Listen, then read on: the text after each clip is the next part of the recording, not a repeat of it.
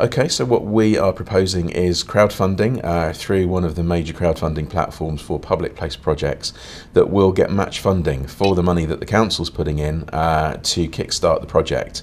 Uh, so basically, once we can get the project started and underway, then we can unlock uh, Public Works Loan Board funding, uh, and we're applying for more lottery funding in the summer in June. So hopefully, we can get the first phase underway. That in itself will then draw in uh, investment from people who can see that there's a market for the kind of shops and studios and other uses for the um, for the pods in the terraces. Obviously, if there are corporate donors and other big value donors, then uh, the sky's the limit. We, we, we don't want to set a, a, ceiling on it. We want to raise as much money as we can. And I know that people in Brighton and Hove are very generous uh, and they do care. That's really evident from the response I've had since the uh, bid was turned down. They do care about the terraces just like I do. So, uh, you know, I'm optimistic that we'll raise a significant sum with the support of a lot of uh, agencies and organisations across the city.